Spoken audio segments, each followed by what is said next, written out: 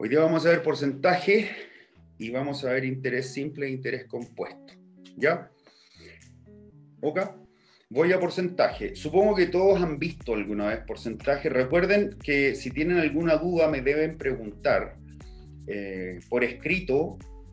Empiezo, porcentajes. Bueno, el concepto de porcentaje está asociado al análisis de totalidades pero que están divididas en pedacitos, en pedacitos de 100. Es decir, cuando tú dices el 100% de algo, de X, por ejemplo, lo que tú estás diciendo es, ojo, ojo con esa expresión, lo que tú estás diciendo es 100 de 100 pedazos. La expresión preposición de o del es por X, esto es 1, o sea, es 1 de ese algo, del X, ¿verdad? No es casual que yo ponga el 1 y tampoco es el hecho que no tenga claro que es un neutro multiplicativo. No, lo que quiero mostrar es que cuando tú estableces rebajas de precios a un valor determinado, se supone que la tienes que estar multiplicando por un decimal menor que 1 porque cuando tú multiplicas algo por 1 al ser el 1 un neutro multiplicativo, estás calculando la totalidad de ese algo y la totalidad se señala a través del 100%. O sea, si tú dices el 60% de algo,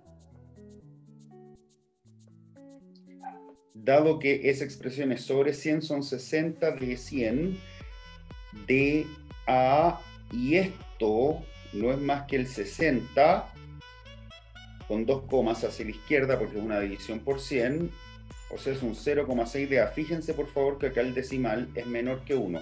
Ya, ¿qué significa matemáticamente esto? Que al valor de A, bueno, lo evidente es que es el 60% de A, pero lo otro que no para todo el mundo es evidente es que el valor de A fue, o le quitaste su 40%.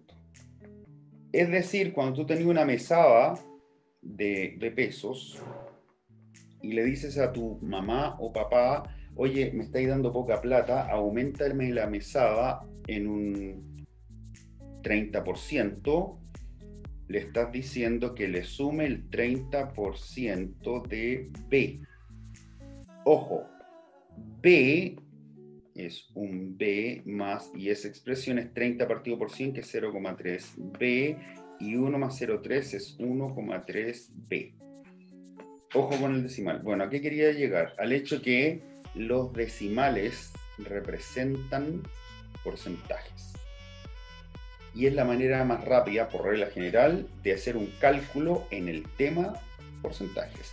Es decir, si a ti te dicen, calcúlame el 40% del 30% del 20% de A,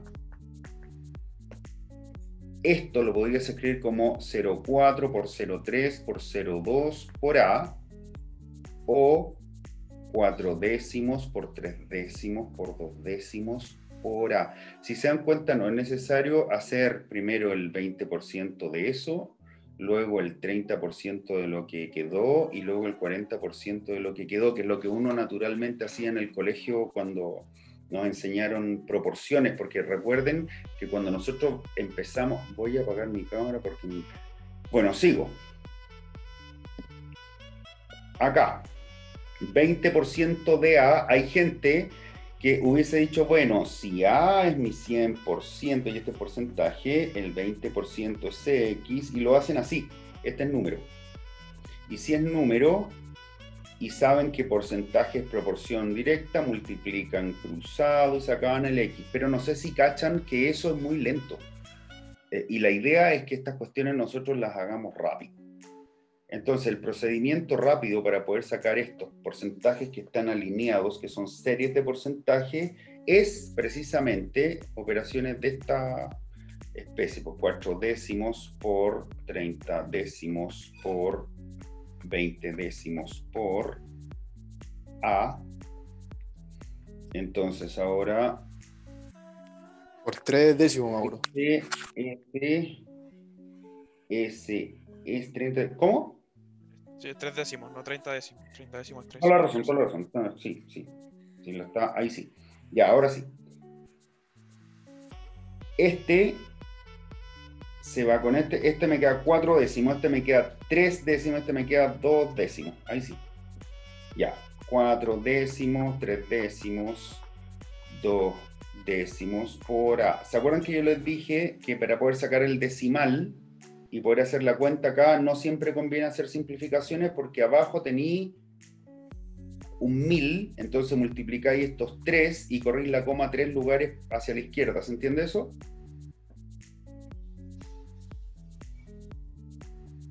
Contesto en el chat, por favor. A ver si me están siguiendo. Ya.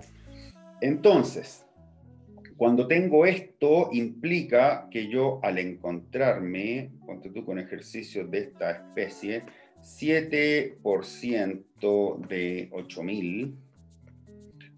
ojo, necesito que me contesten esto por escrito en el chat, tienen 5 segundos, 8000% de, perdón, 8000% de 7, ahí sí. ¿Qué es más grande? A o B. Voy a preguntar por qué. ¿Todos pueden demostrarlo? Ya. ¿Por qué es lo mismo? Porque esa expresión yo la puedo escribir como 7 sobre 100 por 8000. Y esta expresión la puedo escribir como 8000 por 100, eh, sobre 100 por 7. ¿Se acuerdan que esa expresión es dividido 100? Los numeradores son iguales, los denominadores también.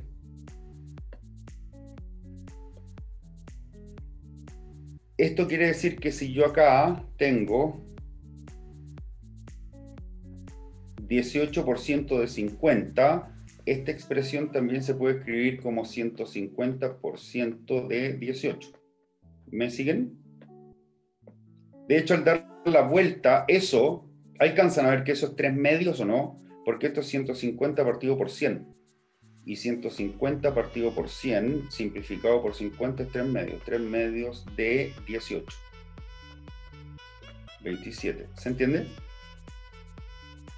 Otra manera, que es como nos enseñan en el colegio, es por qué el número que hay después de la preposición de siempre el 100%, entonces 150 es tu 100%, este porcentaje, y me preguntan el 18% y este es X, y multiplico cruzado. Tercera manera que podrían usar acá es el 18% de 150, decir 0,18 por 150. Cuarta manera que lo podrían hacer es sacar el 1% de esto y multiplicarlo por 18. ¿Se entiende de esa manera?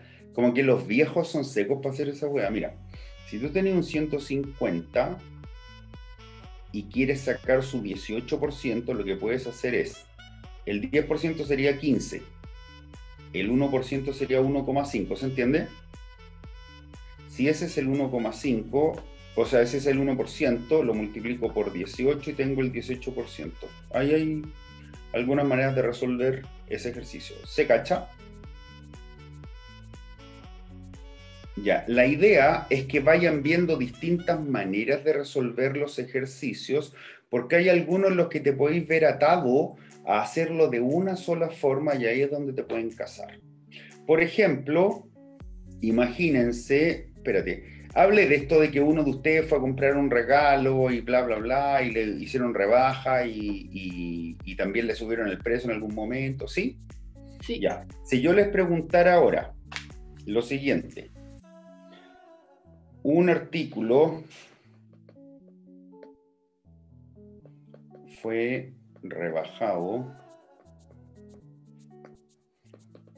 en un 10% tres veces consecutivas. Y el mismo artículo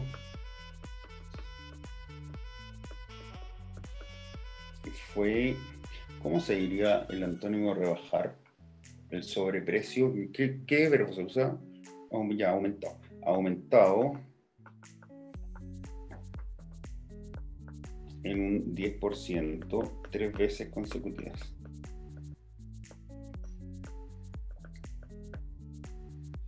Pregunta. ¿Cuánto porcentaje? En verdad, ¿qué porcentaje? ¿Qué porcentaje disminuyó? ¿Y qué porcentaje aumentó? Ya, ¿lo tienen?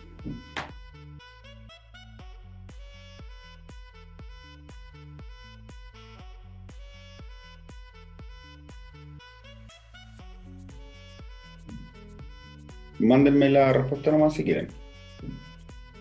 Pues de hecho se puede hacer así, pa, pa, al toque.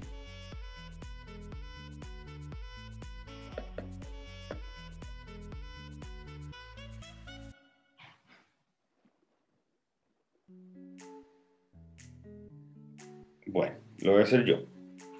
Este es 72,9%, por lo tanto bajó un 27,1%. Y este aumentó un 33,1%.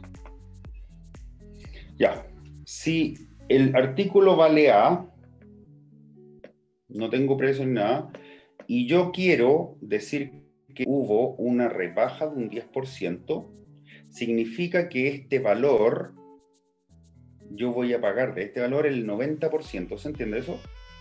¿Y cómo se escribe matemáticamente el 90% de A? Se escribe así, 0,9 por A. ¿Se cacha? Ya. ¿Los demás? Sí, ya. Esa es la primera rebaja. Segunda rebaja, porque fue tres veces. Segunda rebaja, ahora tu precio es ese y alguien te dice te voy a cobrar un 10% menos, mírenlo así, si te van a cobrar el 10%, o sea, te van a rebajar el 10% de esto, significa que pagas el 90% de eso. ¿Y cómo se escribe el 90% de esto por 0,9?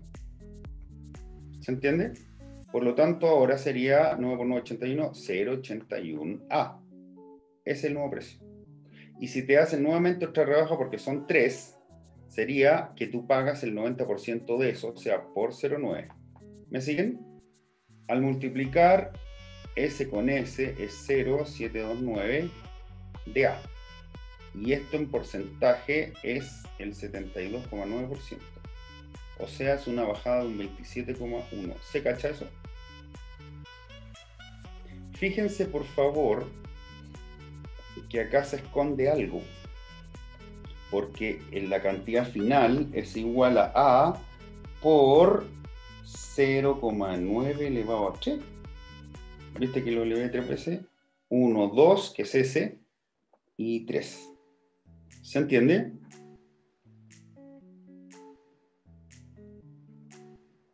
¿Claro? Bacán. Ya, la vamos a dejar guardada acá un artículo fue aumentado en un 10% tres veces consecutivas. Si valía A, si a ti te aumentan un 10% tu mesada, que era X, significa que ahora recibes un 110% de tu mesada. ¿Se entiende eso? O sea, si algo se aumentó en un 10%, es sobre el 100%, entonces eh, la primera subida sería eso. Y queda así. Ahora, ese precio le suben un 10%, o sea, pagas el 110% de eso, que sería por 1,1. ¿Por qué 1,1? Porque 1,1, si tú lo transformas en fracciones 11 sobre 10 y lo amplificas por 10, es 110 sobre 100, y acá está la expresión del porcentaje, 110% porque está partido, digo, ¿se cacha? Entonces, primera subida, segunda subida, tercera subida, o sea, es S por S 121, 121 o 1,21 por 1,1 es 1,331 de A. Dos veces para allá, 133,1% de A. Por lo tanto, sobreprecio de un 33.1%. ¿Se cacha?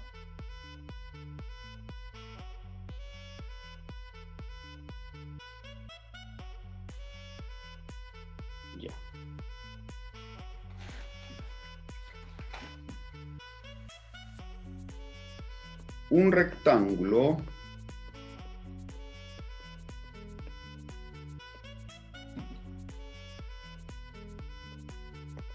aumenta su altura.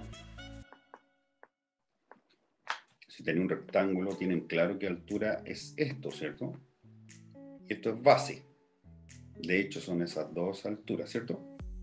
Viste que es A, A, B, B. Área, base por altura. ¿Sí? Ya. Entonces, un rectángulo aumenta su altura en un 5% y disminuye su base o su largo, mejor digamos, en un 10%. En cuanto varía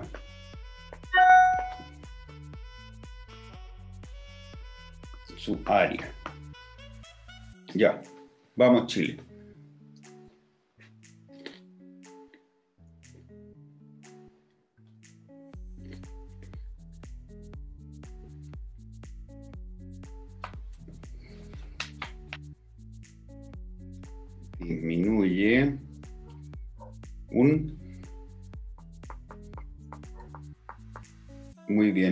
Muy bien, Chávez.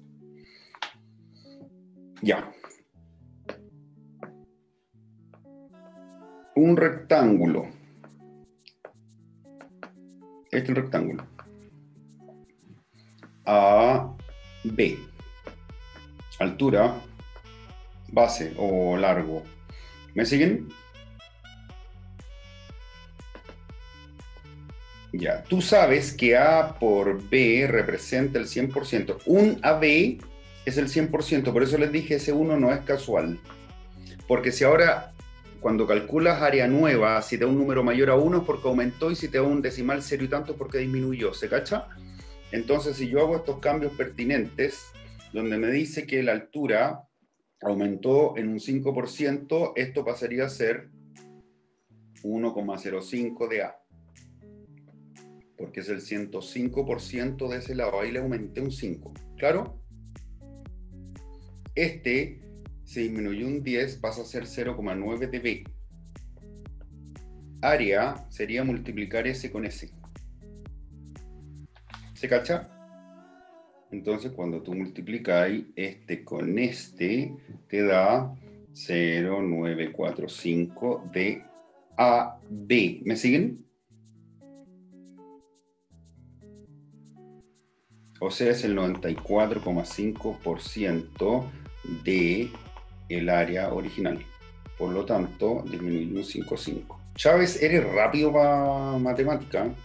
Te vengo observando la clase pasada. ¿Me siguen hasta ahí, chicos? Y chicas, ¿sí? ¿Bien? Miren esto. En, ojo, voy a empezar a complicar la situación. En el año... Mil no, me dijeron que era el 1935, ¿ah? Santiago tenía un millón de habitantes. Yo pensé como que era como en 1960, según, así como pensé, y me dijeron, no, en el 35, y yo, chucha, bien, ya. En el año 1935 Santiago tenía un millón de habitantes. ¿Sí? Se demostró que la ciudad que la cantidad de habitantes creció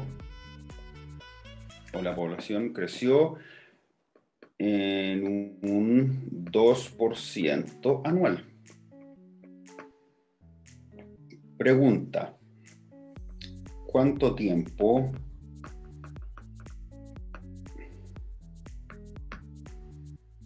pasó en años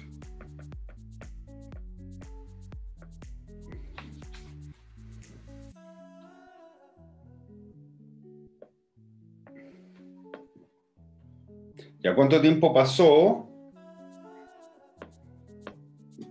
para tener un millón doscientos cincuenta mil habitantes? Ya. Los que hicieron la guía deberían tenerla buena. Les doy a ustedes dos minutos. Los demás, piénsenlo, porque este, este ejercicio ya es un poco más pesado, pero en verdad no. Si cachan el concepto que estamos usando, le pasa a ir. Ojo, lo más probable es que no les salga. Y a los que hicieron las tareas, mmm, puta, capaz que a uno de ustedes les salga. Porque esto ya es un poquito más complicado.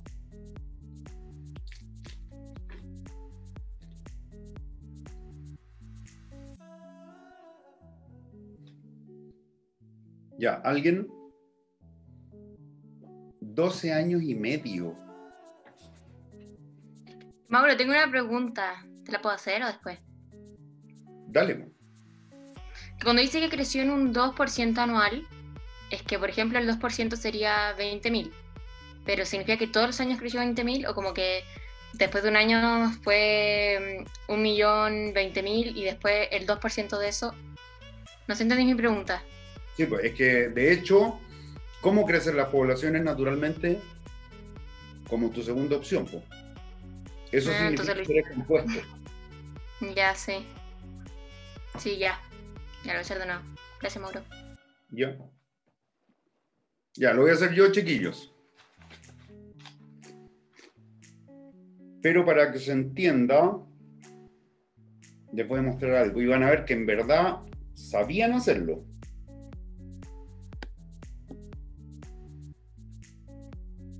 Eran un millón de personas, ¿cierto?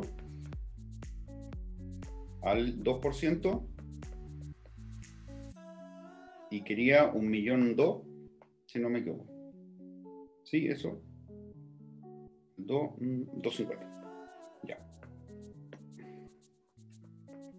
Ya, chiquillos, ojo. Espérate, eh, espérate, ¿qué dice ahí? Ah, ya, sí, ya lo corregí, Chávez. Logaritmo base, ya, ese tiene buena pinta, Chávez tiene muy buena pinta. De hecho, es bien probable que esté bueno. De hecho, a ver, 0, 2, déjame ver algo. Sí, tiene muy buena pinta. Ya, veamos si es así. Te felicito, Chávez. Ya, atención. Antes de hacerlo, les voy a mostrar algo que pasa con esto. Mira, un millón dice que crece al 2% por año, ¿cierto? O sea, el primer año crece o se multiplica por el 102%, que sería 102 partido por 100, y eso es 1,02. ¿Se entiende eso? Esa sería la población después del primer año. ¿Se cacha? Ya. Al segundo año crece un 2% esto porque se va componiendo.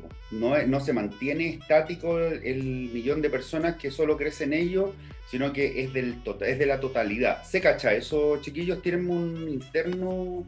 Si no es así. Ya, bueno, bacán. Entonces, el segundo año por 1,02. O sea, eso hay el segundo año. ¿Lo ven? El tercer año, ahora hay una nueva cifra, que es esa. Yo podría multiplicar este con este, por este, ¿cierto? Y, sacarlo. El tercer año por 1,02.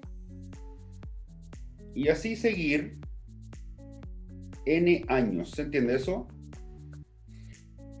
Ya fíjate que si fuera un solo año, al primer año sería, mira, al primer año es el millón por 1,02 elevado a 1. Al segundo año, segundo año es el millón por 1,02.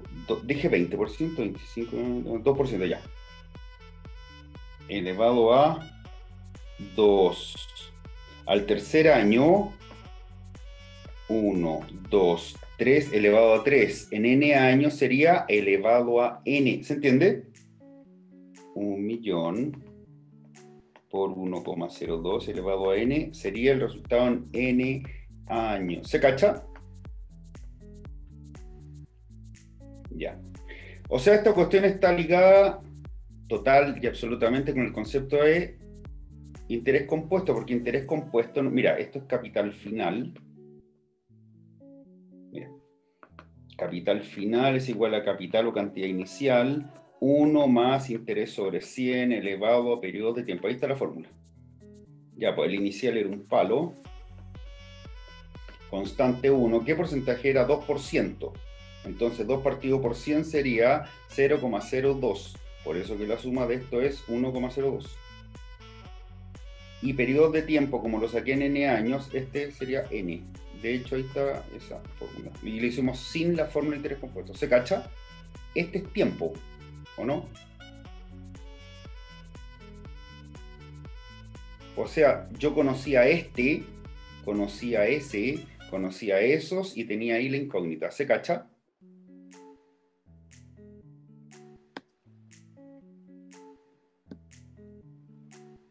Ya, entonces, espérate, ¿todos cacharon? ¿Mandriles cacharon? ¿Sí? Ya, bacán. Miren esto, me voy a ir para arriba. Entonces, en el ejercicio de arriba, que es capital final, capital inicial, 1 más interés sobre 100, periodos de tiempo, ¿en qué hay que tener cuidado acá? En esto es donde se equivoca la gente. El interés y los periodos de tiempo tienen que versar sobre las unidades que establezca la tasa de interés. O sea, si la tasa de interés, ponte tú, te dicen que es mensual y te preguntan un año, acá tenéis que poner su correspondiente mes, sería un 12. Si la tasa es eh, semestral y son dos años, tenéis que ver cuántos semestres hay en dos años. O sea, aquí iría un 4. ¿Se cacha eso? Porque siempre de acuerdo a el tiempo que verse de que se trate la tasa de interés. Ella manda y convierte a este. ¿Estamos? Ya, entonces acá, capital final 1,250. Parece que lo tenéis buena, Charles. Es igual a un millón. 1 más tasa de interés 2%, ya, entonces este era 1, porque era 1 más 200, ¿cierto? y periodos de tiempo, ojo, la tasa de interés es anual, ¿verdad? Por lo tanto, este X que estáis buscando te va a salir en años. A eso me refiero con que tienen que estar eh, en la misma unidad. Esta cosa ya sabes que era 1,02 elevado a X. Y si yo paso esta a para el otro lado, esta, me da 1,25. ¿Me siguen? Chávez la tiene buena. Ya. Si yo tengo esto, ¿cómo se resuelve una ecuación exponencial cuando no puedo igualar base? Aplicando logaritmos, ¿o no? De hecho, los logaritmos por eso se inventaron, entre otras cosas. Porque los logaritmos aparecieron cuando un weón se le ocurrió decir, a ver, 2 y 2 elevado a x igual a 8, a 2 elevado a x igual a 2 elevado a 3, x vale 3. Pero, y si es 5 elevado a x menos 1 igual 2, bueno, esta weá se resuelve a través de logaritmos, ¿se acuerdan? Ya, por eso que él le tiró logaritmo a esto. Al tirarle logaritmos, a ver, se supone que ustedes saben hacer esto, pero lo voy a escribir acá así de buena onda. Si tú tienes un logaritmo, así, a, b, n, significa que A elevado a n es igual a B, con A y B pertenecientes a los reales positivos, y con A distinto de 1, ¿cierto? Esas son las dos restricciones en un logaritmo. Los dos asteriscos que tengo ahí. O sea, base, eso se llama base elevado a S es igual al argumento, ¿verdad? Base, este es base. Ese es S, ¿cachai? Fíjate que esa forma la tienes acá, mira, este es A, este es N y este es V. ¿Me siguen? De acuerdo a esto. ¿Viste que la potencia está acá? Así que el X será igual al logaritmo. ¿Cuál es la base de la potencia, el 1,02? y este acá sería 1,25. De hecho, el logaritmo es un exponente perdido en una ecuación exponencial. Ya, ahí está. Parece que la tenéis buena, Chávez, eso me habéis dicho, ¿cierto? Sí, eso lo había, lo había dicho. Buena, Chávez. ¿Se cachó, chicos? Ahora, ¿qué creo que mm, podrían preguntar? Ustedes me dirán, ¿y me podrían preguntar una cosa así? Puta, no creo. En verdad no creo. Eh, porque esto ya es complicado que la gente lo haga. De hecho, Chávez es el único que lo hizo y ustedes son el curso que tiene el, el mejor promedio en todo el preu. Y son los únicos prácticamente que se adelantaron y que se supone que se sabían la materia. Por eso les digo, esto es muy difícil que alguien se le ocurra, pero en verdad es materia que es bien fácil, porque si la agarráis desde abajo, evidentemente. ¿Se entiende hasta ahí?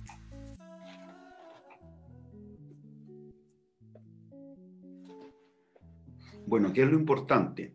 Primero, entender una cosa, y es que el interés compuesto, muchachos y muchachas, no es un fenómeno matemático que solo se dé en finanzas. La gente tiene la sensación de que el interés compuesto es un fenómeno que solo existe cuando vas al banco a pedirle plata.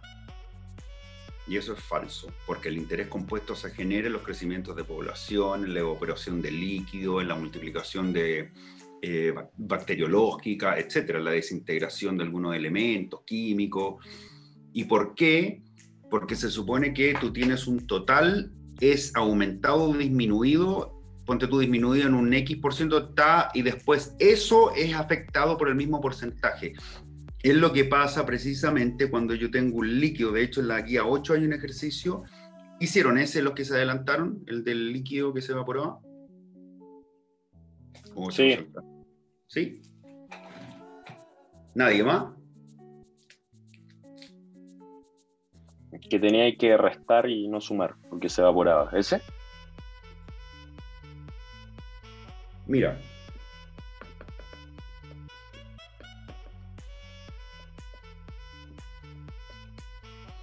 Tengo 1000 cc de agua, un litro.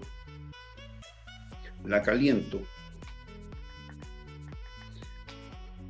Se evapora un 20% cada 5 minutos.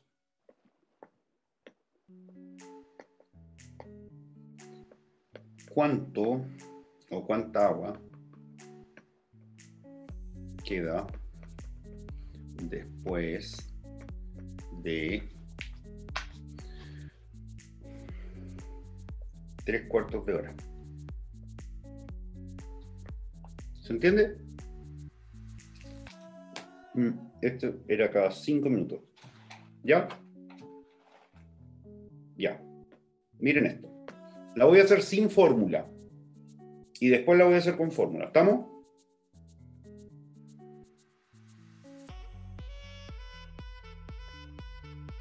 Mil centímetros cúbicos tenía. Se evapora un 20% de su contenido cada 5 minutos. Si pasan 5 minutos, me queda el 80% de eso. ¿Se entiende? ¿Cuánto tiempo pasó acá? 5 minutos. ¿Claro? Dos. Vuelven a pasar otros 5 minutos y eso, de esto se evapora el 20%, porque siempre se evapora el 20%. ¿Cachai que no varía el porcentaje? Por 0,8. Y ahora aquí habían pasado 10 minutos. ¿Se entiende? vuelven a pasar 5 minutos y esto por 0,8 es lo que me quedaría después de 15 minutos. ¿Se cacha? Ya, y así puedo seguir y llegar hasta el 45. ¿Cierto? ¿No es acaso más fácil hacerlo así? O más rápido más bien. Porque esto es más inteligente. Porque es deducir la fórmula de interés compuesto. Mira, capital final, capital inicial, 1 más interés sobre 100 elevado periodo de tiempo. Ya, el final no sé, inicial 1000. Esto acá era 20%, así que sería 0,2. 1 menos 0,2, 0,8. Listo. ¿Cuántas veces, voy a- ¿Cuántas veces iba a hacer esto? 5, 10, 15. ¿Cachai? Que el 45, que es el 3 cuartos de hora, si yo lo divido por 5 me da 9. O sea, esto era elevado a 9 porque lo voy a hacer 9 veces. ¿Se cacha? Si se dan cuenta acá, se acaba de generar un problema de interés compuesto. ¿Y por qué? Porque como te digo, acá tenía el total, acá tenía el inicial, acá tenía uno menos interés porque va bajando y ahí tenéis periodos de tiempo. Bueno, los alumnos juran, de hecho en toda la semana me pasó, todos creían que el interés compuesto era un concepto que se generaba solo en entornos financieros y eso es falso. Acá lo vimos en una química, se puede dar en, en el tema de crecimiento poblacional, etc. Y otras más, hay, hay muchísimas más aplicaciones. Y en el tema de platas, ¿por qué aparece y, o por qué se justifica? No sé si ustedes cachan cuál es la justificación de que se pide intereses por prestar plata. ¿Saben cuál es la justificación? ¿Por qué si te pasan plata tenéis que pagar intereses por eso? ¿Y no devolver solo la plata? ¿Mm? Porque la plata se desvalora con el pasar de los años. Porque devalúa. Muy bien. ¿Por qué más? Porque al banco le conviene que tenga tu plata. ¿Cómo? Si yo le, le pongo plata al banco y digo que la voy a retirar en un año y me dicen ya te ponemos tal interés, al banco le conviene. Porque Espera, ¿quién habla de eh, Palacios? sí, Ya, no estoy cachando tu ejemplo. Sea, ¿Cómo? Espérate, espera, ¿el banco te pasa plata o tú le pasas plata al banco? eh, cualquiera de las dos. Ya, Pero, a ver, pero el ejemplo de que, de que el banco me pasa, que es más fácil. eh, que el banco me pase plata y yo le devuelvo con intereses hace que el banco gane plata. Que el negocio del banco al final. Ya, pero no estoy preguntando por eso. Yo estoy preguntando la justificación Ah, ah, ya, ética. ya. Justificación ética, no, no, no, ya. Bueno, precisamente lo peor que ustedes pueden hacer es ahorrar plata y tenerla en un chanchito en la casa. Porque como dijeron las niñas, la plata devalúa. No vale lo mismo 100 lucas hoy que 100 lucas en 6 meses más. No compran lo mismo, no tienen el mismo poder adquisitivo. Lo peor que puede hacer es guardarla. Un millón de pesos al día y un millón de pesos en un año más. De hecho, alguien dijo IPC por acá o no, no, no, dijeron inflación. Bueno, el índice de precio del consumidor, el IPC, la volatilidad de la moneda. Bueno, de hecho, no sé si cachan la UF, pero ponte tú, cuando tú pagáis créditos al banco, compráis un departamento, una casa, en fin, todos esos precios se establecen a través de la UF que va subiendo todos los días y los sueldos de todos nosotros son en pesos. Es decir, todo se vuelve más caro indefectiblemente. Estoy haciendo un ceteris paribus asqueroso, o sea, estoy manteniendo las otras variables incólumes, pero simplemente estoy usando el tema de la UF y el peso. Eh, por lo tanto, lo que ustedes tienen que hacer es pescar la plata y pasársela al banco. Pero, de hecho, ahí tú le estás prestando plata al banco, pero creo que se lo expliqué también eso de las pasaditas que puede hacer un banco cuando viene alguien y pone plata en el banco y le presta plata al banco el banco le paga un interés, pero el interés es chiquitito en relación al interés que le va a cobrar otra persona por la misma plata. O sea, si acá hay un banco y, y alguien va, no sé, Benito le lleva 10 palos al banco y dice, oh, voy a ahorrar mejor, Mauro me dijo que la depositara y deposita. El banco a Benito le puede pagar, no sé, por un 1,1% de interés. Pero si por acá aparece otra persona y necesita 10 millones, el banco le pasa los 10 millones, pero le cobra, son 4 o 6. Bueno, y los 10 millones nunca fueron del banco, pero el banco es el que tiene derecho por ley a intermediar valores, por eso que eh, son los únicos, por lo demás, los bancos e instituciones financieras en general los que pueden hacer esto, porque también tienen espalda para responder eh, en caso de, de, de cualquier hecho inoportuno. Ya, sigo.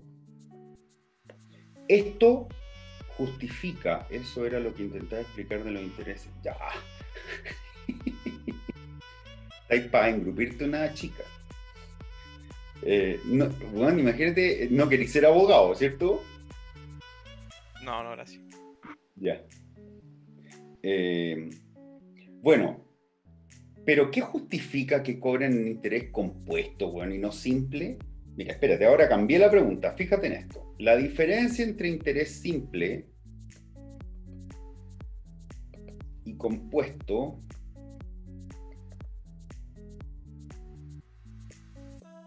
¿cuál es? Pero ya, pero háblame en términos terrestres, Rutzo. ¿Cuál es? Eh, Simple el simple.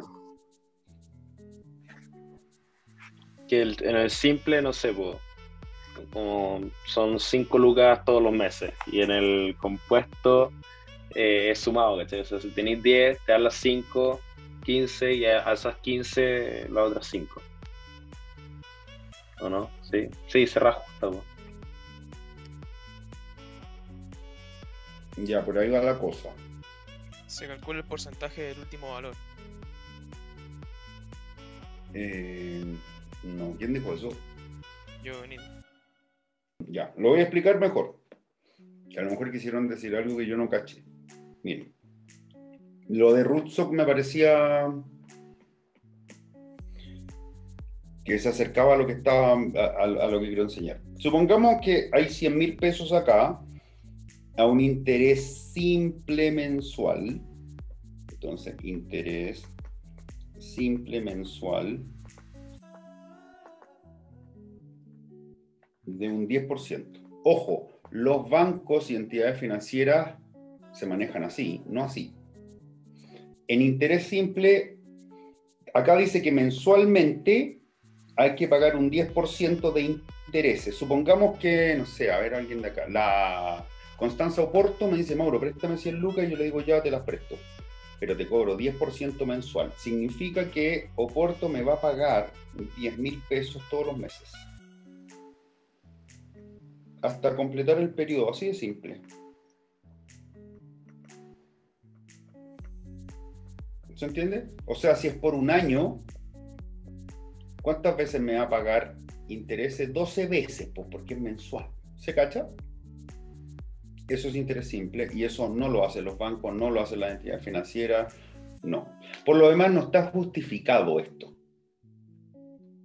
Por ningún motivo lo que está justificado es este. Y miren cómo opera este.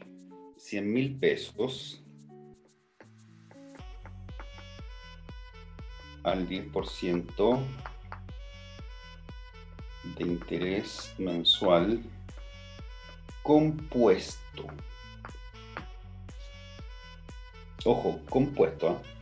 Entonces tení 100 mil pesos el 10% de esto, ¿cuánto es? 10.000. Luego estos dos se suman. Y tení 110.000. Y ahora calculas el 10% de eso.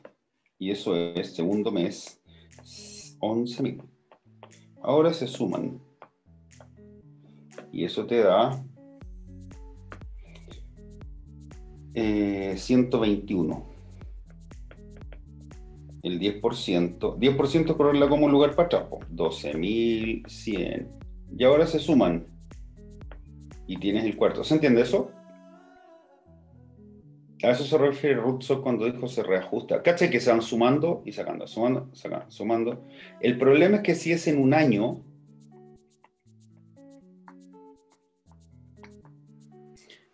onda, no me po no vaya a estar haciendo esta weá 12 veces. Imagínate en 6 años, no podéis estar haciendo esta weá. Entonces, por eso que antes les enseñé esto. Y les dije 100 mil. Si al mes me van a cobrar un 10%, sería eso el primer mes. ¿Por qué? Porque debería. Estos son los totales, ¿ah? Estos son totales. No se suman, pues no sea weón. ¿Ya? O sea, el resultado que me dé en el 12, onda, 1, 2, 3, 4, en el 12, esa es la deuda total, que es capital final. ¿Se entiende? O sea, eso es al término del primer mes, al segundo mes, al tercer mes, etcétera. Si es un mes elevado a 1, si son dos meses elevado a 2, si es n meses elevado a n. Por lo tanto, esta hueá no era más que 100.000 por 1,1 elevado a 12 capital final. ¿Se cacha? Ahora, ojo, esto no es la ganancia, es el capital final. O sea, todo esto, mira, supongamos que esto fue verdad, fuiste a un banco y te hicieron pedazos, en Banco Falabella que los intereses. ¿Ustedes cachan la lógica de cómo se cobran los intereses en los bancos, no? ¿Qué lógica se usa? ¿O no cachan esa, weá? cachan que hay bancos que tiran intereses bajitos, el Vice, el Edwards, el Black, weón, el, el Santander Premium, esa weá te cobran intereses bajos. Pero el Falabella, el Credit Chile, esa weá tiran intereses brígidos, que uno lo ve y dice, me cago la weá cara. Ya, sigamos. Eh, ¿Se entendió esta wea, cierto? ¿Se entendió esto, cierto? Ya, ahora, lo que yo estoy buscando es cuál es la justificación de que pase esta wea. De hecho, un alumno el otro día me decía, ¿cómo que los bancos a uno lo cagan? No, le dije, no es que te caguen, si esto está bien. Si el problema es que te tiren un interés cuático. Ah, ya caché, porque el falabella y la wea. Ya, ¿ustedes cachan cuál es la lógica de que Falabella, el Banco Falabella, esos bancos como de muy mala reputación cobren tan caro? Y los bancos FIFI, weón, esos weones ya que tenéis que demostrar como 15 palos semanales para que te tarjeta de crédito, esos weones te cobran intereses, pero así de enanos, ¿cachan? ¿Por qué? La lógica de esto, ¿se le ocurre a alguien eso? El capital inicial de los bancos premium es mucho mayor, ¿o no? No es por eso.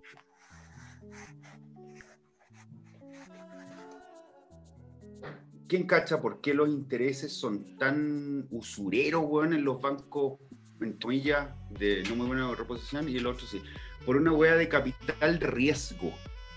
O sea, un banco como Falabella y etcétera, por regla general le va a prestar plata a personas que no tengan rentas muy altas, por lo tanto constituyen un capital de alto riesgo. O sea, corren el riesgo que los buenos no te paguen. Y eso lo tienen que traspasar a números. Y por eso que te tiran intereses grandes como para asegurarse el chancho. ¿Se entiende? En cambio, un weón que tiene rentas muy altas y pide un crédito, le tiran intereses bajos porque obvio que este weón me puede pagar.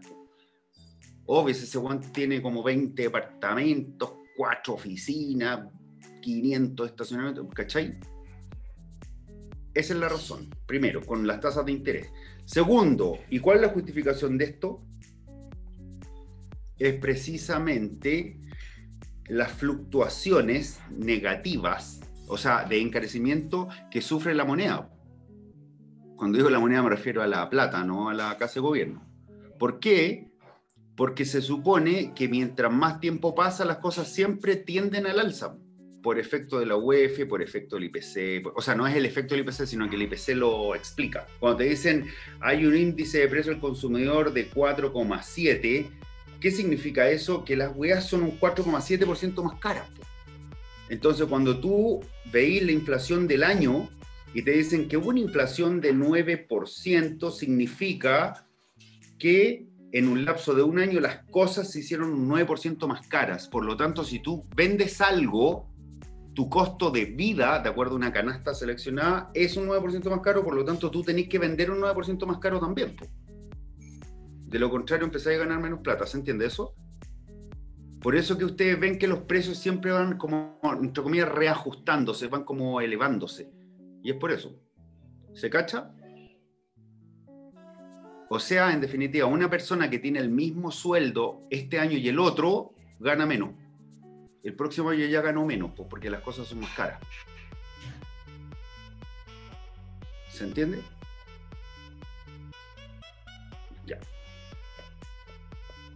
Ya. Entonces ahora vamos a ver tecniquita para salir jugando. La tecniquita para salir jugando tiene que ver con qué. ¿Con qué vamos a hacer esto? De varias maneras. A ver, ¿de cuántas maneras se le ocurriría hacer eso? La manera clásica, básica, de colegio, sería, bueno, a mí me... Ojo, esto que les voy a decir en ningún momento es peyorativo. Y de hecho, usen esta información. Les dijeron que el número que está inmediatamente después de la preposición de siempre es tu 100%, ¿se los dijeron? Bueno, ahí ustedes me responderán en el chat. Entonces, si lo haces con regla de 3, número, porcentaje, lo que tú tienes es 150, el 100%, y X es tu 18%. Primera manera, la manera de sexto básico, multiplicáis cruzado y lo sacas. Listo, soy feliz, 150 por 18 sobre 100. Simplifico estos tres medios porque dividí por 50. El 2 acá es 9 y por 3, 27. Listo. Ya, otra manera. Otra manera sería método directo, absolutamente. ¿Se acuerdan que yo les dije que la expresión que tienen acá representa dividido en 100, o sea, 18 sobre 100 por 150? ¿Me siguen? Simplifico por 50, este es 3, este es 2, ese con ese es 9, por 3, 27, listo. ¿Se cacha? Tercera manera. Los viejos son, bueno, los viejos somos secos para hacer esto cuando no somos matemáticos. Decimos al 18% 150. Ya, hay gente que pesca el 150 y dice, si ese es el 100%, este es el 10%. Y si ese es el 10%, este es el 1%. ¿Se entiende? Así que si esto es el 1%, lo multiplico por 18 y tengo el 18%. ¿Se entiende? Otra manera. 18% de 150, 0,18 por 150. Otra manera. 18% de 150 es lo mismo que 150% de 18. ¿Se entiende eso? Y de hecho estos tres medios, po, porque 150 partido por 100, entonces 3 medios de 18, simplifico, 27. ¿Se entiende? ¿Cachai? Que tenéis varias maneras para salir jugando del ejercicio, como el mediocampo azul, caleta. ¿Sí? Ya, ¿claro? Ya, acá. Ya, esta weá está pes... O sea, ojo, estas preguntas están... Esta pregunta fue robada de un Demre, ¿ah? Pero está más flight la weá como le escribieron, porque no es que tanto por ciento es, es qué porcentaje, pues bueno, güey. ¿Cómo que tanto por ciento? ¿Qué porcentaje es 52.5 de 350? Ya. Atención. Muchas maneras para resolver, repito. Una manera. ¿Se acuerdan la básica? Si al lado de la expresión D hay un número, ese cuando acá es el 100%. ¿Me siguen? Entonces tengo número, tengo porcentaje, por lo tanto el 100% es 350, 52.5 es el X%. ¿Con prom? Y te pegáis la cruzada, te cruzáis, tenéis cachorro y listo. ¿Se cacha? Ya. Ojo. Porque alguien dirá, no, es que a mí no me gusta hacer esa hueá porque es muy largo. Ya. Atención con esto. Si a mí me dicen qué porcentaje es este de ese número, miren, mírenlo con estos números.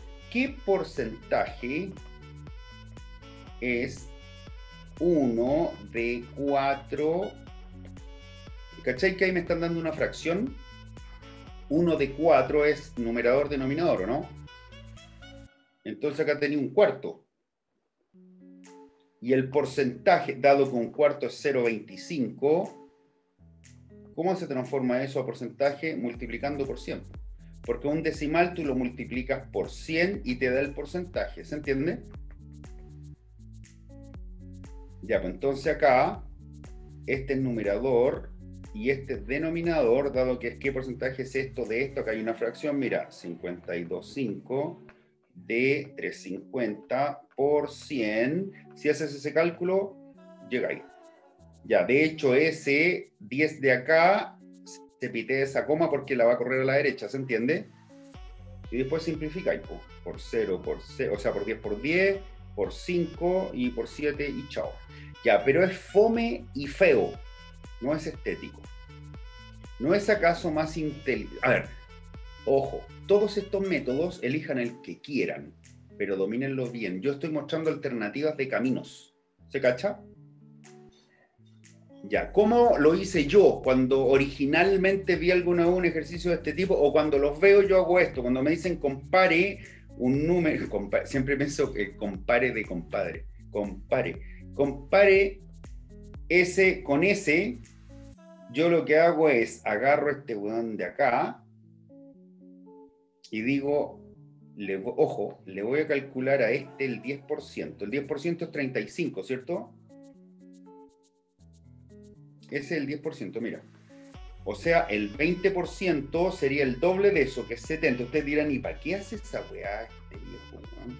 Porque el número que me están pidiendo comparar respecto de él, este número, es un número más grande que ese y más chico que este. O sea, el porcentaje es mayor a 10, pero menor a 20. Mira la alternativa. El único que puede ser ese, porque esto es un y tanto, seis y tanto, 66, 183. ¿Se cacha? ¿Se entiende la situación? ¿Lo podría repetir, Mauro? No, Sí. no caché muy bien. Repito, cuando a mí me dicen que compare un número de respecto de otro, ¿cachai que este número es algo así como, ah, es como la, puta, como la quinta parte o sexta parte de esto? Es como, mira, ponte tú, si a este weón de acá, o séptima parte, si tú esto lo dividís por 7, te da 50, ¿cierto? Vicente. ¿Sí? Ya, entonces este weón podría ser como la séptima parte. Entonces, ¿qué hice yo? Ya, miré las alternativas caché que son todas muy distintas. po. No sé si alcanzaría a ver que este número es mayor al 10% de esto. Porque el 10% es 35. ¿Lo ves? O sea, este número es mayor al 10%. Sí, sí. Ya. El 10% de esto es 35. Entonces el 20% sería 70, ¿o no? Sí. Ya. Y este número es más chico que el 70. O sea, este número es mayor al 10%, pero menor al 20%. Entonces tiene que ser el 15. No hay otra alternativa respecto a la alternativa que tengo, así que no tengo que calcularlo, de hecho. ¿Se cacha? Ah, bueno. Es más. ¿ah? es más, para asegurarte, para asegurarte podéis sacar el 15% de eso. Mira, ¿cuánto el 15%? Mira, saca el 10%, 35. Va. 35. Saca el 5%. ¿Cuánto es la mitad de 35? 17,5, ¿o no? Súmalo. Ahí está el 15%. ¿Se cachó? Sí, sí. Gracias, Mauro. Por nada, mijito. Una persona tiene 500 y gasta el 25%, ¿con cuánto se queda? ¿Cómo lo harían? Y probablemente se le ocurren una o dos maneras. Y este tiene una infinidad de maneras de desarrollo. Y la idea es que conozcan eso. De hecho, ¿sabéis cuál es el error clásico en este tipo de preguntas? Mira, hay gente que lo hace así. Y que es un error así como, me cago, ¿cómo podía equivocarte en eso? Y es un error que todos cometemos. Todos. Mira, una persona tiene 500 y gasta el 25%, ¿con cuánto se queda? Hay personas que hacen que hacíamos esto. Decíamos, bueno, 500 es el 100%, acá está porcentaje, acá está número. Ya, y gastó el 25%, ah, entonces voy a calcular el 25%. Calculaban el 25%, multiplicaban cruzado, lo sacaban y después restaban. ¿Cachai que todas esas operaciones están de más? Porque te están preguntando con cuánto se queda y se queda con el 75% si es que gastó el 25, ¿se cacha? O sea, lo único que había que hacer era este 500 multiplicarlo por 3 cuartos. ¿Por qué? Porque el 75%, que es con lo que se quedaría, eso es 75, 100, y si simplificáis por 25 es 3 cuartos, ¿me siguen? O sea, este es 500 por 3 cuartos. De hecho, si tú haces un análisis numérico, es como tener 500 y dividirlo en 4 cuartos o 4 valores que representen el 25%. Porque 4 cuartos es un entero. Entonces el 25% sería 125, 125, 125. Fíjate que todos ellos suman el 500 y se gastó eso, o sea, se quedó con eso. Eso es el resultado que te va a dar esto. Porque acá hay 3 de un total de 4 respecto al 500. ¿Se entiende?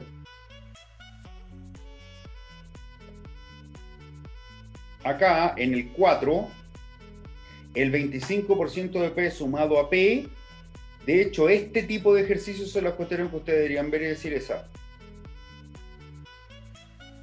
¿Por qué? Porque si al 25% de P le sumas P, este es el 100%, ¿no? De P. Este el 25 sería el 125% de P y dividido por 25 es eso. Una manera. Segunda manera, el 25% de P más P. No está, tienen que seguir bajando. Un cuarto de P más P. No está, perdón, P, no está. Un cuarto más uno, cinco cuartos de P sí está. ¿Se cacha?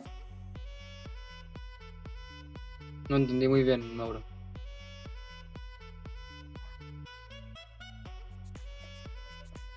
Leíste la pregunta, ¿cierto?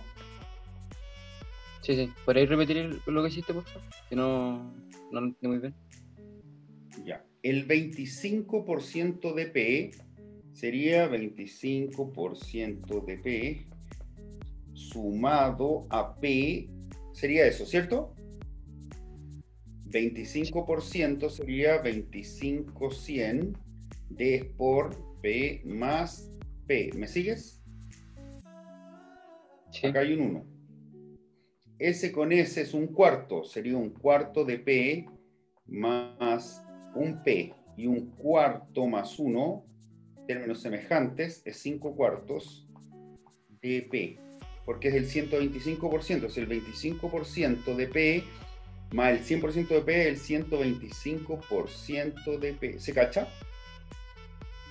Sí, gracias. Ahí sí.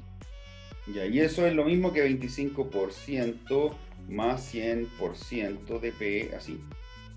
Y ahí está el un cuarto, y acá está el 1. P más, ¿sí?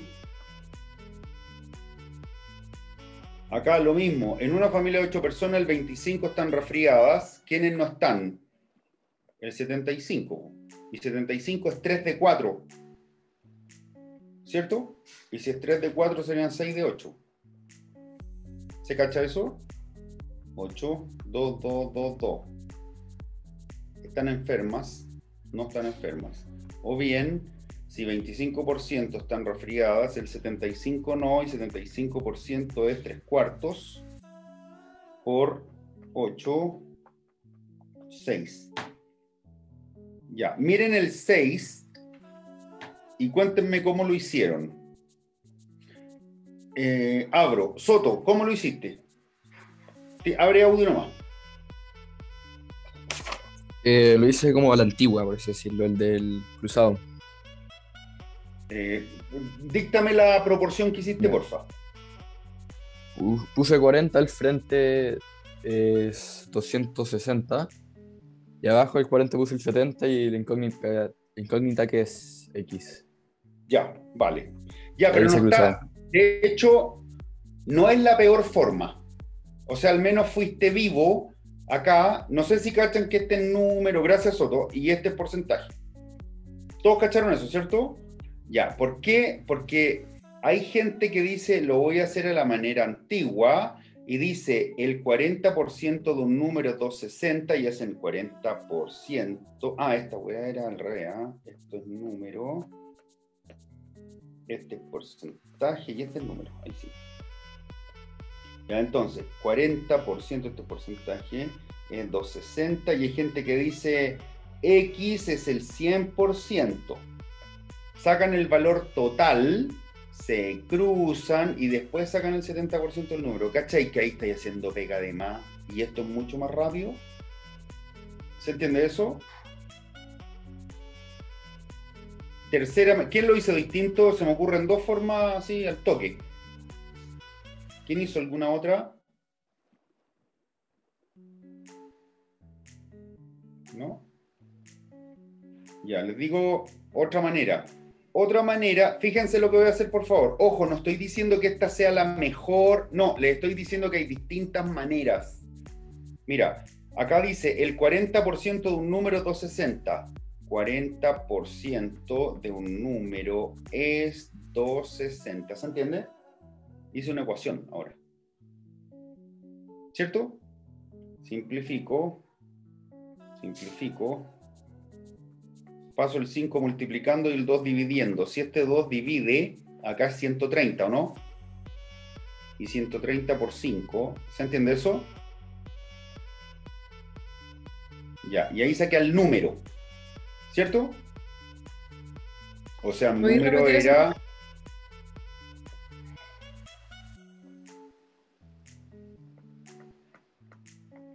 Tengo eso. ¿Se entiende eso? Sí. Simplifica. Simplifica el 4 con el 10 y es 2 quintos. Si ese 2 pasa dividiendo, te da 130. Y el 5 pasa multiplicando. ¿Se entiende? Ya, sí, ahí sí. X vale 5, 6, 50, pero es el total y quieren el 70%. O sea, sería por 7 décimos, ¿se entiende? Fuera, fuera, o sea, sería el valor de esto. Tercera manera. Cuarta manera. Miren esta. Repito, no es necesario que lo hagan de las cuatro maneras. Les estoy mostrando que hay distintas formas de hacer el desarrollo. Por eso que cuando se adelantan, no es buen negocio que lo hagan, porque se están perdiendo otros desarrollos. Viste que uno hace uno y chao, y sale. Así que si quieren estudiar más, hagan ejercicios hacia atrás, de materia para atrás, no para adelante. No, se, no es necesario ir tan rápido, quedan muchos meses para la prueba. Ya, voy a borrar porque necesito mostrar algo. Mira. Lo voy a hacer acá arriba. Ojo con esto, por favor. Si el 40% de un número es 260, tú divides por 4 a ese número y tenías el 10%. ¿Todos cacharon esa movida? Si yo digo que 260 corresponde al 40% de un número, divido a ese weón por 4 y tengo el 10%. Buena Salazar. ¿Se cacha? Contéstenme todos, por favor. El que no, diga no, porque tengo que avanzar. Entonces, el 10% del número que no conozco es eso dividido en 4. ¿Estamos? Lo voy a anotar. 260 dividido en 4, el 10%, y quieren el 70. Multiplica por 7, pues. Guacho. ¿Se entiende? También se podía hacer como lo hiciste el anterior. Como, o sea, yo no me adelanté con la materia, pero ¿Mm? que lo estaba viendo y como el 40% el doble de 260 y la alternativa sería un poco menos que el 455. Claro, sí, la alternativa lo permite, estoy de acuerdo.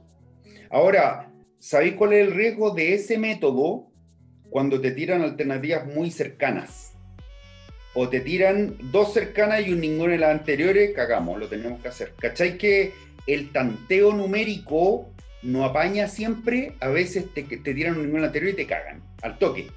Porque no podéis tantear un las anteriores, de ahí tenéis que llegar a la weá y ponerle fe, su Dios te salve María y la weá. Pero así como de cabeza no se puede. En cambio, esto lo permite. ¿cachai? De hecho, ayer o anteayer un alumno del Santiago College, así como, ah, todo en grupo, y me decía, ah, entonces las alternativas no son, en verdad no están bien porque debería haber ninguna de las anteriores y la weá. Le dije, no, pues weón, si yo te chanto un ninguna de las anteriores en todas las preguntas, estoy castigando muy duramente a las personas que tienen habilidad en matemática, porque una persona que se le ocurre ese tanteo, que se le ocurrió a mi amiga Juli Infante, no se le ocurre a cualquiera. Hay personas que no se les ocurre esa weá y tienen que llegar por cálculo, ¿cierto? Entonces, si yo chanto pura ninguna anterior en las alternativas, estoy castigando injustamente a una persona con habilidad, pero que no se sepa bien la materia. ¿Me cachan? Ya. ¿Se entendió esto entonces, cierto? Ya, bueno, el capítulo 7, que es este, es siempre la misma wea. No hay nada peludo. De verdad que no. Voy a irme al 8. Este eh, test sí es más pesado que el otro, definitivamente. El otro es en verdad un chiste. Eh, pero yo diría que lo complicado de este es que hay un par de ejercicios eh, donde las eh, preposiciones generan cambios, y eso es lo que les quiero explicar ahora. Y también es difícil porque hay gente que no se acuerda de las fórmulas de geometría. Diría que es por eso. O porque no saben la fórmula de, de- Sí, es de, es de economía, en verdad. Que precio de venta menos precio de compra es igual a ganancia. Y que ganancia es lo mismo que utilidad. Y si te da negativo, esto es cuando te da positiva esa diferencia. Si te da negativo es pérdida. ¿Se entiende eso? Hay gente que no sabe qué precio de compra. A ver, ¿alguien de acá vende algo? Más de alguno tiene su negocito en esta weá. ¿Quién vende weá aquí? Marisco. ¿Quién vende marisco? O salmón. O carbón. ¿Alguien no? ¿Nadie vende nada? Ya. ¿Pero en verdad nadie? Benito vende alfajores, miel. Ah, Benito. Yo soy Miel de. Ulmo, buena. Ya, ya, pero Benito, ¿tú produces miel de Ulmo o la compras y la vendes? Compro y vendo. Ya, entonces, Benito, el precio de compra de Benito es lo que a él le cuesta la miel de Ulmo. Pero Benito después vende la miel de Ulmo y evidentemente tiene que venderla más cara. Pues si alguien te dice, Benito, ah, weón, sin vergüenza, está vendiendo más caro, obvio que tenéis que hacerlo más caro porque tú inviertes tiempo, probablemente gastáis en benzina, en puta, no sé, a lo mejor tenéis un medio pollo que hace la compra por ti, le tenéis que pagar a él, en fin, po. Onda, demoraste tiempo en encontrar al dealer apropiado o te encargas de investigar acerca de que la piel de ulmo tuya, weón, genere efectos secundarios como ponerte los ojos azules, ¿cachai? O sea, una weá que sí, vale. Ya, eso que a ti te cuesta, se vende por kilo, ¿eso, Beni? Por kilo. Ya.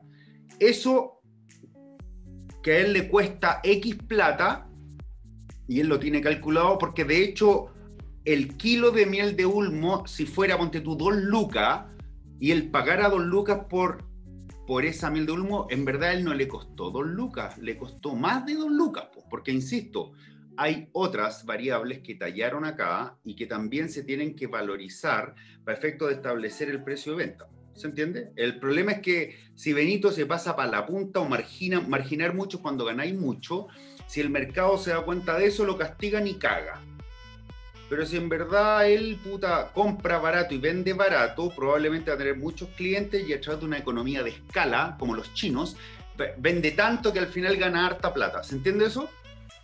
Bueno, cuando tú estableces un precio de compra, querido Benito, porque calculaste después, tienes que determinar tu precio de venta y el precio de venta ha de ser mayor que lo que te costó para que tú ganes y esa diferencia que sea positiva. El punto es que a veces, como dicen en el campo, uno queda acachado. ¿Se entiende? Que es estar acá, estoy acachado. ¿Han escuchado ese término? Es, es como de mi generación. Es cuando tenéis mucha miel de ulmo benito y ponte tú, si tuviera fecha de vencimiento, estáis cagados y tenéis que liquidar. Es como onda, tenéis que vender y tenéis que bajarte en el precio. ¿Se cacha? Ya ponte tú, una vez yo escuchaba a un weón que vendía helados en la calle y el weón siempre gritaba Sabori, Chamonix, ya Bresler y weá. Y un día el weón gritaba, estoy acachado con los Sabori helado, gritaba, y todos se cagaban de la risa, pero era, claro, el weón parece que se le había acabado el hielo seco, viste que ponen hielo seco para que no se derrita, y se le había acabado, no sé qué, y se le estaban derritiendo los helados. Y ese era el tema que tenía que, que liquidar y weón vendía, ponte tú los tanques a gamba, así una weá onda, ya, va a sacarle algo, eso estar acachado. Y esas weas también pasan cuando tenéis un negocio, por eso que eventualmente esa resta puede ser negativa y ante ciertas situaciones. ¿Se entiende la cosa, cierto? Ya, esto a muchos les pasó en la semana que me decían, Mauro, pero qué utilidad. Y yo, weón, ganancia. Ah, como que no se le ocurría, ¿me cacháis? O sea, eso impactó en el desarrollo de esta guía en términos de que de repente había gente que no, no sabía leer los ejercicios.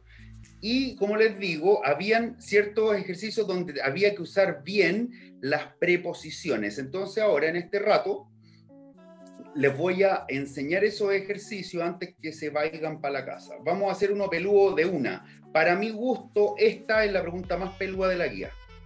Léanla, por favor. Dice, una mercadería se vendió en M pesos con P por ciento de pérdida. ¿Cuál fue el precio de compra? Ya, eh, miren esto. Un líquido se evapora. Ah, no, no era este. Espera, calma, calma. No, no es este. Es que quiero mostrar otro primero. Ese. Miren el 24. Viste que yo ya le marqué uno que les dije el más difícil, ¿cierto? Vamos a hacer como cuatro que para mi gusto son los que dejaron la patada con esta guía. Miren esto. Dice, si la arista de un cubo se duplica, eh, ojo con eso. ¿En qué porcentaje aumenta su volumen? ¿Por qué causó tanto escosor esta pregunta? Porque podría ser ¿a qué porcentaje aumenta su volumen?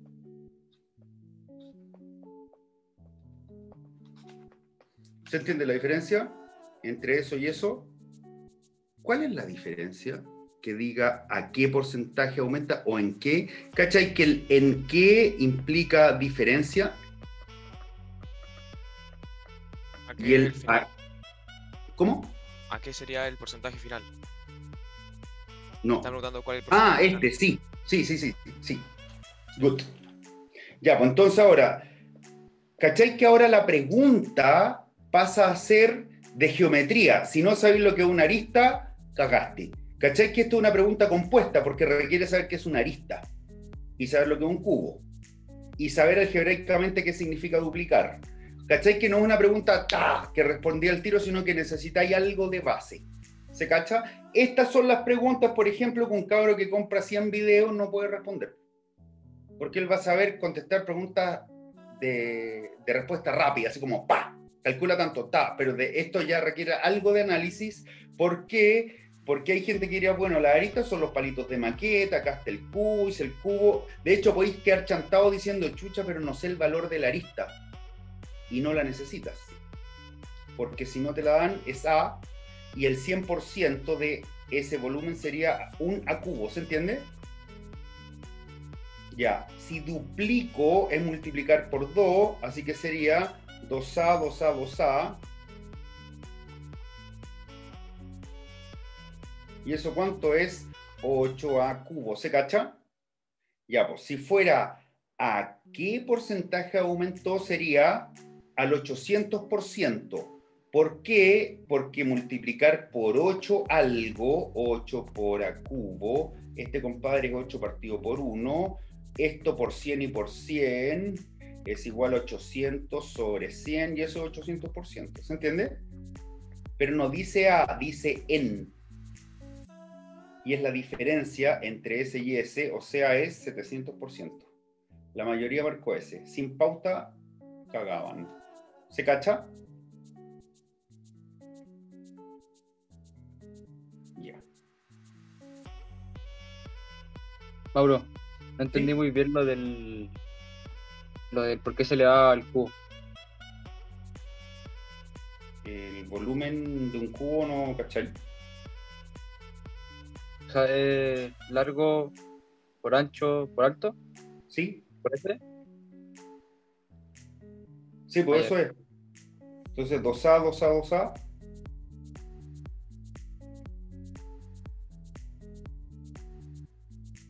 Se cacha, ¿cierto? Sí, sí, gracias. Ya. Miren esto.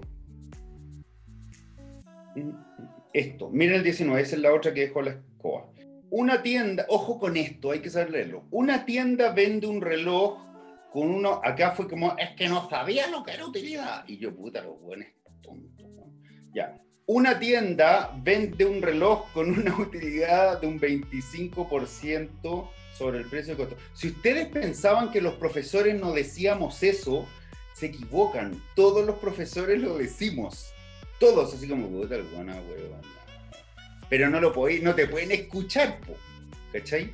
Ya, pero es verdad que el buen que dijo es que no sabía lo que era la utilidad. ¿Qué le costaba al huevón googlear? ¿Cachai? Que como que, puta, que, que gana y pegarle un palo, weón. Ya, sí. Una tienda vende un reloj con una utilidad de un 25% sobre el precio de costo. Entonces, ¿te acordás que tenías precio de costo? Precio de... No, voy a poner ganancia primero. Utilidad o ganancia. Y precio de venta. ¿Cachai que en cuánto vendía a mi compadre la miel en 6 luquitas, ¿cierto? Y entonces el precio de venta 6 lucas. Supongamos que a mi compadre le cuesta 4 lucas, él se gana 2 lucas. ¿Se cacha eso? ¿Cachai? Que ese con ese me da este. ¿Sí? Ya. Pero ahora, ¿cachai? Que viéndolo aritméticamente es más fácil agarrar esto, porque ahora si te dicen, una tienda vende un reloj con una utilidad o ganancia de un 25 sobre el precio de costo, si el precio de costo es A, la ganancia como era un 25% de esto sería 0,25A. Por lo tanto, el precio de venta sería la suma de estos dos, po, porque la venta es la suma de los dos, así que sería 1,25A. ¿Se entiende? Entonces ahora, ¿qué porcentaje del precio de venta, o sea, qué porcentaje de esto es la utilidad o ganancia? ¿Es eso? ¿Qué porcentaje representa de esta cantidad, esta de acá? O sea, este es tu 100% ahora. 1,25A es tu 100% y 0,25 0,25A es tu X%. ¿Se entiende? Este es porcentaje y este es number. ¿Se cacha? Ya, ¿sabéis por qué se los digo? Porque lo normal es que la ganancia y la utilidad se calcula respecto al precio de costo, no al precio de venta. ¿Sabían eso? Viste que acá la ganancia era un 25 respecto al precio de costo. Precio de costo es lo que le costó a Benito la miel para después venderla. O precio de costo también es lo mismo que costo de producción. Cuando, por ejemplo, hay un artífice que hace una obra de arte y vende. ¿Cachai? Ponte tú, yo hago. Ya. Artesanalmente hago estos lápices. Eh, corto árboles de acá, las pinto, les pongo mina, calculo y los vendo, ¿se cacha? Pero producir un lápiz me cuesta plata, que la tengo que calcular. Ya, mi clase, pues, weón, si yo tengo un- un- una pyme. Ya, en mi pyme, yo tengo calculado cuánto me cuesta producir una clase para uno de ustedes y eso está multiplicado por un N. ¿Por qué? Porque los costos míos son, según mi cálculo, son brígidos. Uno, la producción de dos libros que costaron ambos una millonada y que yo regalo, el canal que es otra millonada y donde no hay publicidad, eh, tres que les regalo weá, cuatro que hago yo la clase, cinco que tengo las oficinas que son carísimas, seis tengo equipo de tutores, siete tengo plataforma, ocho tengo el SEBA más que es más caro que hijo tonto, en fin. ¿Se cacha? Ya, entonces eso es costo de producción. O sea, todo, el, el computador, el iPad, el costo alternativo de estar acá sentado haciendo clase en vez de estar viendo fútbol internacional o comiendo ceviche ahí con mi hermana, ¿cachai? Ya, entonces todo eso está calculado y yo tengo un precio de venta. Pero el precio de venta evidentemente va con el tejo pasado porque algo tienen que ganar el pobre profesor, weón. Si hasta cuándo abusan con nosotros. yo voy a reclamar el bono. ¿Ya me siguen? ¿Se entendió esta weita? Entonces, si la quieres resolver, hermano, te piteas las A. Segundo, córrele las comas, po. Do- ah, ¿por dónde era? Ya cagaste, Vicente, cuenta. Ya, amplifico por 100, amplifico por 100 y sería 125 y 25, ¿se cacha? Así que si simplificas, el 25 y el 125 es 5 y 1. ¿Me siguen? Ya, ojo. Si tú tenés 5, 1, 100 y X, así, saben cachar que se pone un 20 sin cruzarse, ¿verdad? Mira, ¿qué le hice a ese para que me diera este? Lo dividí por 5. ¿Qué le hice a ese para que me diera el de abajo? Divido por 5. Divídelo por 5. 20. ¿Se cacha? De hecho, si tienes, ponte tú C, 123. Y acá tenéis 17. Acá tenéis eh, 246. Acá tenéis X. ¿Cuánto vale X? ¿Cachan que vale 17 medios? Sin cruzarse. Mira.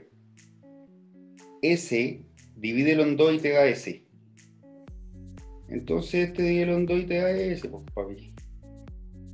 ¿Se cacha? Esto puede pasar para el lado, o sea, puede ser el análisis así, o para arriba, para abajo. Como acá, porque acá fue para abajo. O para arriba, S por 5 te da el de arriba. ¿Qué número por 5 te da gambita? 20. ¿Se cacha? No estén buscando que esto se pueda hacer siempre, ¿ya? Cuando se pueda. Si no, te cruzáis, si total no cuesta nada, son algunos segundos de diferencia. ¿Estamos? Ya, espérate, yo había marcado una hueá por acá que este. ¿Lo quieren intentar? Si les cuesta pensarlo, pónganle números. De hecho, usen el ejemplo que nos dio Benito. Benito vende 6 lucas, debe eventual, evidentemente comprar más barato. Hay un porcentaje de ganancia, pero acá se supone que perdió plata. ¿Me cachan?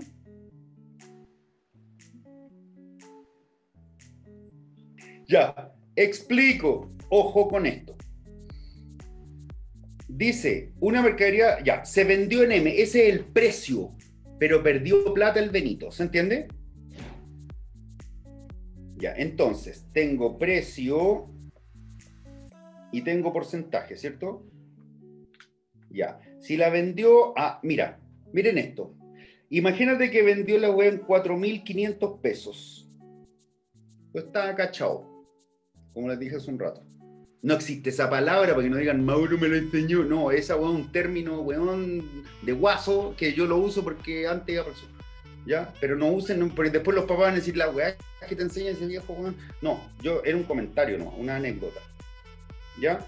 4.500 vale la caga, ¿cierto? O sea, la vendió, pero él perdió platita. Ya.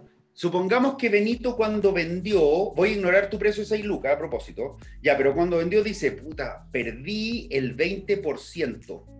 Si perdió el 20%, significa que esta plata es el 80%. ¿Se entiende? ¿Todos cacharon eso? Porque si no entendieron esto, cagamos.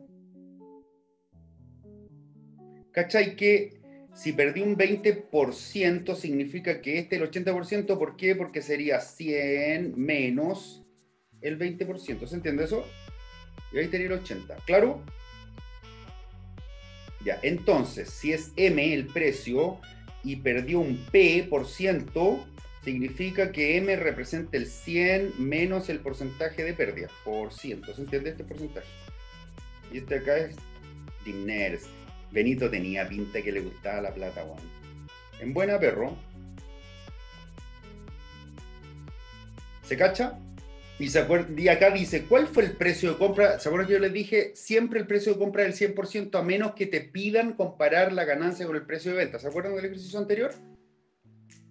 Entonces, si te preguntan cuál es el precio de compra, se refiere al precio que a Benito le costó. Porque el cliente, respecto al cliente, es precio de venta. ¿Estamos? Entonces acá, esto es plata, no sé, y me preguntan por 100%. ¿Se cacha eso, hermanos? Mauro, ¿cuándo no era 100% el precio de compra? Cuando, por ejemplo, acá, mira, en este decía, una tienda vende el reloj con una utilidad de un 20% sobre el precio de costo. ¿Cachai que acá el precio de costo era 100%? Lo que pasa es que en el cálculo de la pregunta que dice, ¿qué porcentaje del precio de venta es la utilidad? Acá me están haciendo tomar como 100% ahora el precio de venta, pero es porque me están preguntando respecto de él. 100% siempre es la cantidad con la que se tiene que comparar. ¿Ya? Pero la ganancia y pérdida siempre se calcula en relación al costo de producirlo o de comprarlo para venderlo. Lo que pasa es que acá, de hecho tú ya lo tenías, la ganancia es esa. Pero ahora te dijeron ya, pero ¿cuánta ganancia sería respecto a cómo lo vendiste? ¿Cachai que es distinto? ¿Sí? Ya. Y ahí en la otra te cruzáis y, y tenéis cachorros, por loco. ¿Se entiende? Ya. Podríamos Eh, hacer uno más, que la encuentro muy difícil. ¿Cómo? ¿Podríamos hacer uno más? ¿Para qué? Es que me cuesta mucho. No, de hecho les va a costar. No esperen que le. Sí, Ojo, no les va a salir así. No, no, no sale así. Tienen que onda. Va a costar. Yo puedo hacer cinco y te va a costar igual. Mira, por ejemplo, esta, todos la van a cagar. Mira. Se los advierto. Y parece fácil. Mira, hagan esa. De hecho, es como, ah, es fácil. Mira. De hecho, pueden llegar incluso al resultado, pero la van a cagar.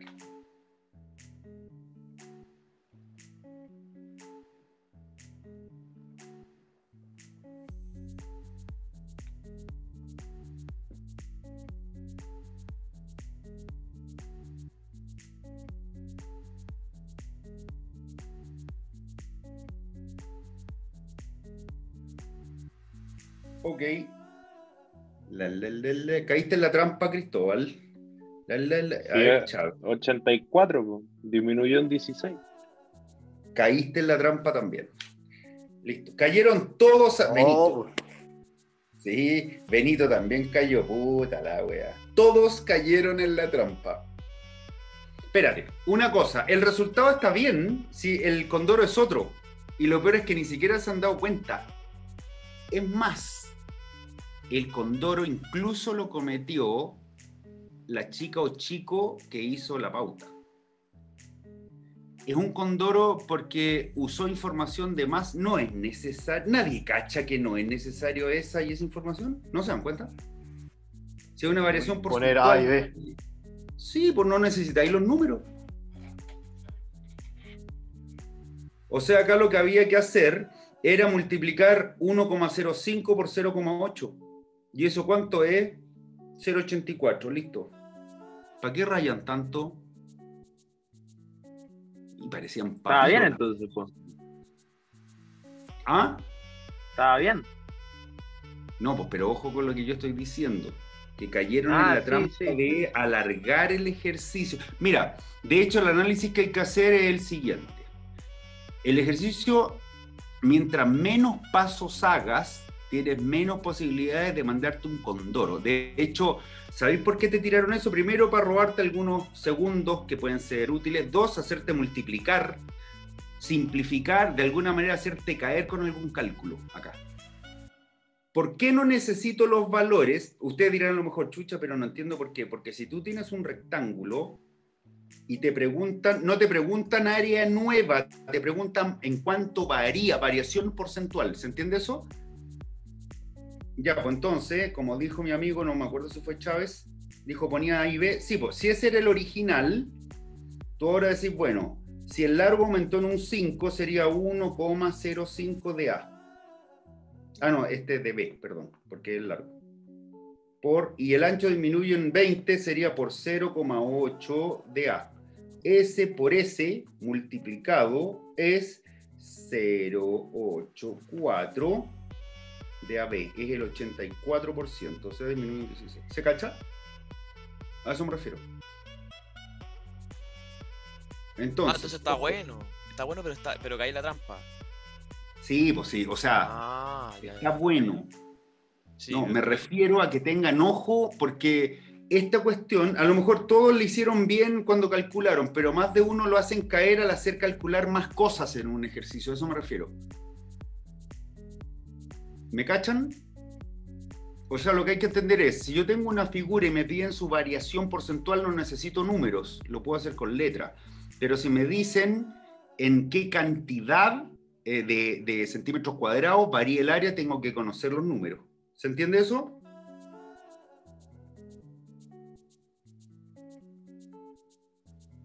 Clarísimo, Mauro. Acá, si el radio, mira esto, si el radio aumenta en un 100%, hay gente que no sabría leer eso. Ya, por radio esto, si aumenta en un 100% significa que es 2R. Ya, pues el área de este sería pi r cuadrado, un pi r cuadrado.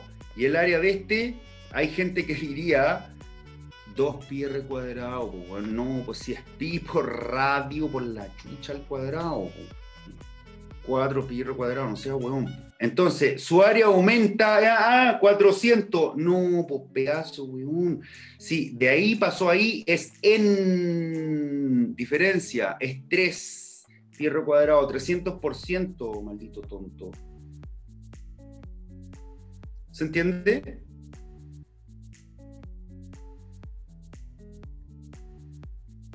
La, la, la. Ya, me voy. Me están esperando para comer. Ya, chao, cabros. Pórtense bien, hagan tareas.